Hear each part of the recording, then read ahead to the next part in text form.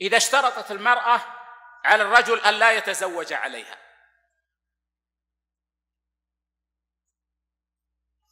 نذكر ولا لا؟ طيب.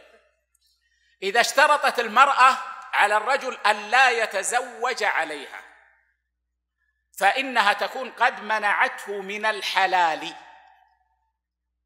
لكنها ما حرمت الحلال.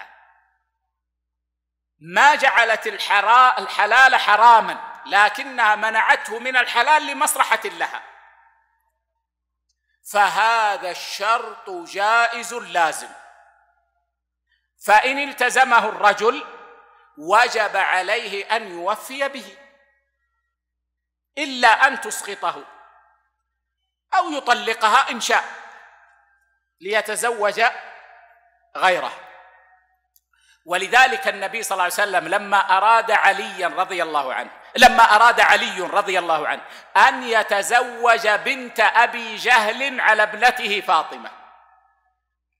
قال صلى الله عليه وسلم أما إني لا أحرم الحلال ولا أحل الحرام ولكن والله لا تجتمع ابنة عدو الله مع ابنة رسول الله. صلى الله عليه وسلم. فمنعه من حلال. ومع ذلك قال صلى الله عليه وسلم أما إني لا أحرم الحلال. لا أجعله حراما لكني أمنعك منه. فليس المنع من الحلال تحريما له. إذن الأصل في الشروط الجواز واللزوم إلا شرطا خالف شرع الله فإنه يكون باطلا. نعم.